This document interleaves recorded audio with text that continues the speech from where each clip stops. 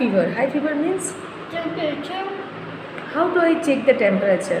Temperature means touching the ear, touching Yeah. the ears, touching the hands, touching the skin, Yeah.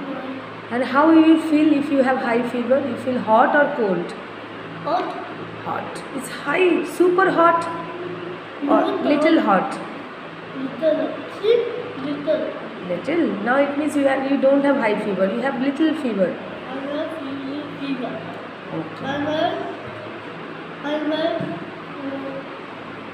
hand, thumb. My bottom is so high fever. Okay. Now fever is done. Now you finish your. Now you have come tuition. I'm. Okay. Now finish your pattern writing. Then you will go home. Okay. Again. Close it.